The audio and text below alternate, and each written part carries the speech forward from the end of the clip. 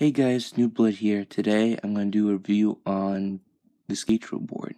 So when you buy it, you also get a few things with it. The steed tool, which is very useful in tweaking or taking apart the board. Um, you get these cards, free VIP club.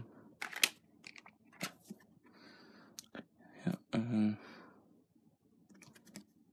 it tells you a little bit about the board. So, and then obviously you get the board. Some of the cons I have with the board is I had some issues with the trucks on this board, but I contacted the people at Skatro and they managed to help me troubleshoot that problem. And another thing is that the bearings are kind of noisy compared to other boards but they're still good bearings. It's just, you know, some people may not like the fact that it makes noise. On to the pros. When I ordered this, I ordered this the same day as, as the penny board, and this came in three days.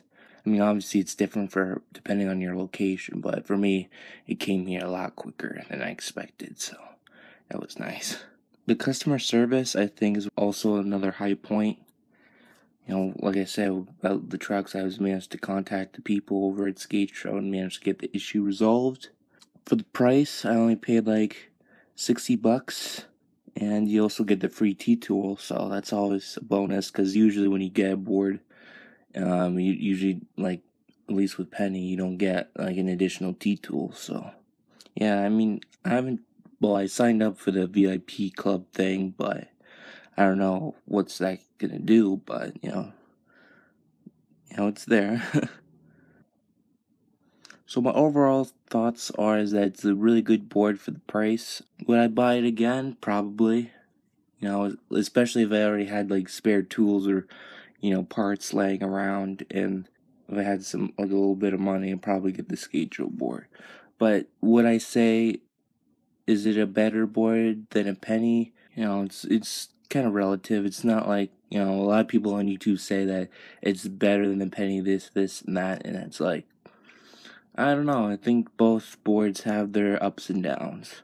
Now, if I want to make a suggestion to Skatro, I would probably say, you know, offer a little bit more variety with the colors. Possibly sell parts separately. Like, obviously, still keep the altogether boards selling, but in addition, sell like parts like you know, spare trucks, decks, you know, bolts, what have you. And then possibly will reduce the probability of quality control issues if you're also selling parts separately. So, and maybe in the future offer like a 27 inch deck, like the penny nickel or something like that. I think that would also be pretty cool. And yeah, the reason why I have duct tape on the like the front and back of the boards just to prevent it from scuffing because I'm a noob. And you know working with these boards when you're new it's gonna get scuffed. And duct taping the ends is a nice way to prevent scuffing on the front you know it was like on the parts where it's gonna mostly get hit so. So yeah this is my review of the Skatro plastic cruiser board and I'll catch you guys later. Peace